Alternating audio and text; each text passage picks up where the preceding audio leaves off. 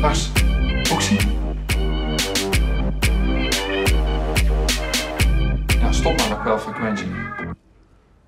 Hij is bokkig.